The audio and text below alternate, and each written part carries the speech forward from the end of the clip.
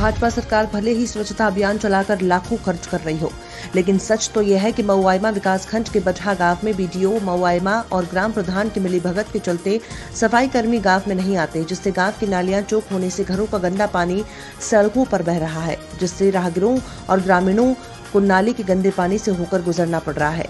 प्रतिदिन लोग गिर पड़ रहे हैं। शिकायत करने के बावजूद भी ग्राम प्रधान और खंड विकास अधिकारी मऊआइमा मामले में कोई दिलचस्पी न दिखाकर हवाला देते हुए पल्ला झाड़ रहे हैं। ऐसे में खंड विकास अधिकारी और ग्राम प्रधान सरकार की महत्वाकांक्षी योजना स्वच्छता अभियान पर पलीता लगा रहे हैं, जिससे ग्रामीणों को काफ़ी दिक्कतों का सामना करना पड़ रहा है।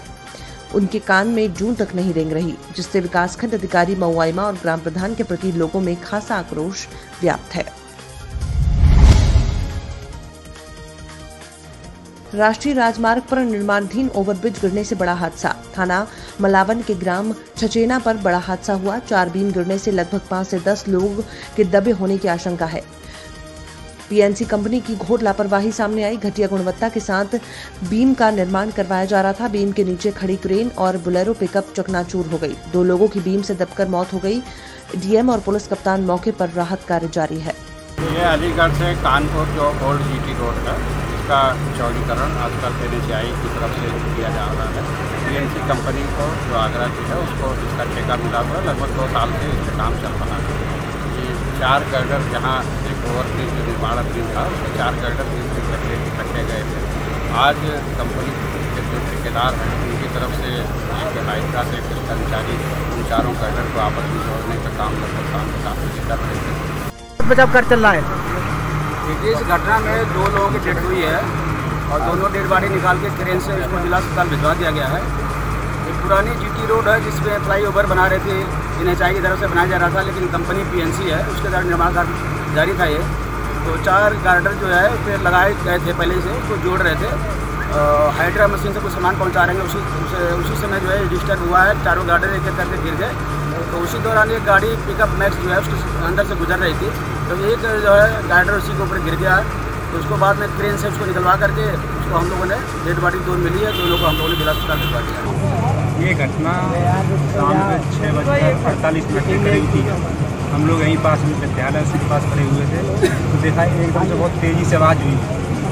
मौके पर आके देखा तो चार गार्डर जिन्हें आई गार्डर कहते हैं वो गिर चुके थे। इसके अंदर एक मैक्स पिकअप गाड़ी लगी हुई थी लेकिन दिखाई कोई नहीं पड़ रहा था। और जो हाइड्रा का ड्राइवर था वो छोटे लोगों से अलग गिर चुका। अच्छा। कितने लोग घायल हैं इसमें? घायलों की संख्या एक हाइड्रा का ड्राइवर है और दो शायद ऊपर से जो वर्कर से काम कार्य कर रहे थे। चलिए। प्रयागराज संगम नगरी में कालिंदी के किनारे दिखा खाकी का रोमांस। यमुना नदी के किनारे नैनी से आकर सिपाही प्रतिदिन नई लड़कियों के साथ करता है खुलेआम अश्लील हरकत। वर्दी के कारण पुलिस वाले करते हैं नजरअंदाज। आज समाज सेवी महिलाओं ने पकड़ा रंगीले सिपाही की करतूत। सिपाही शिवम से बात करते हुए संवाददाता, आप खुद सुनिए, सार्वजनिक स्थानों पर धूम्रपान वर्जित होता है, लेकिन खाकी का रुतबा है तो कौन बोलेगा तीर्थराज प्रयागराज में खाकी को बदनाम करने वाले सिपाही की करतूत? नहीं, ये पब्लिक प्लेस है। आप जित मैं मैं एज अ जर्नलिस्ट नहीं डोंट टच मी आप जिस तरह कर रहे थे पीछे रहिए थोड़ा दूर रहिए डिस्टेंस बना के रहिए लाइव लाइव चल रहा है मेरे फेसबुक पे। आप पीछे रहिए आपको दिक्कत नहीं है। आप जिस तरह कर रहे वो लड़की कहाँ है? लड़की कहाँ है? बुलाइए। नहीं ये तो ऑनलाइन तो लाइव चल रहा है। मैं पूरा आपको प्रूफ दे रहा हूँ। हम्म। नहीं लाइव चल रहा है हमें बताइए आप मेरे सामने वहाँ पे पहले आपने खड़े के वहाँ टॉयलेट की। वो भी एक तरीके से गलत है। आप उधर की तरफ़ पानी में जो भी किए फिर आपने वहाँ पे किया। आप परेशान हुई हम ना फिर आप वहाँ पे बाकायदा हाथ पब्लिक प्लेस आप कानून के रखवाले हैं। स्मोकिंग भी कर रहे हैं आप बाकायदा जबकि कोरोना महामारी चलते सारी चीज़ें बंद है। हाँ बताइए। क्या नाम है आपका? आप आइए इधर आइए। शिवम सिंह। आप आइए बात हो किस जाएगी। थाने पे है? आइए ये लोग जानते भी नहीं हैं आपको।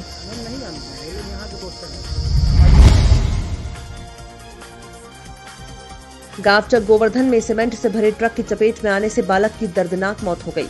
चालक ट्रक को मौके पर छोड़कर फरार हो गया। पुलिस ने ट्रक को कब्जे में लेते हुए शव को पोस्टमार्टम के लिए भेज दिया है।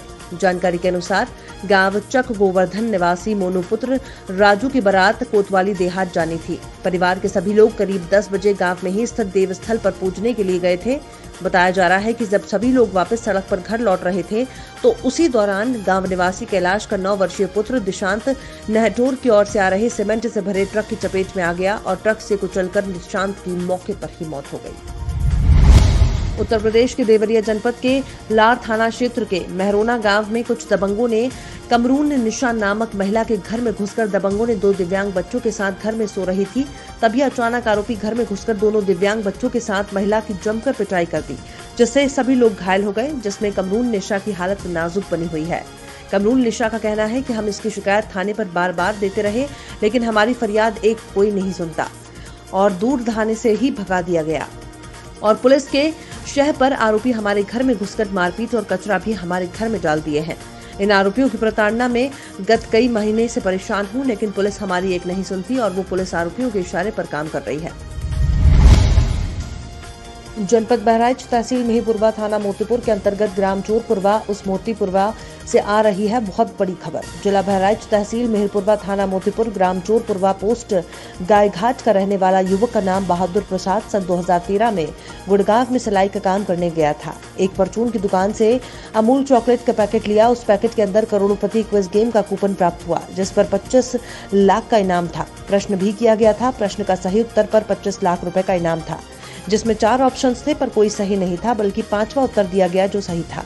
फिर कंपनी ने इस उत्तर को स्वीकार किया। फिर कई बार रकम देने का टाइम दिया गया। ये मामला गुजरात से दिल्ली आया और दिल्ली से यूपी, गाजियाबाद, कानपुर, फिर लखनऊ।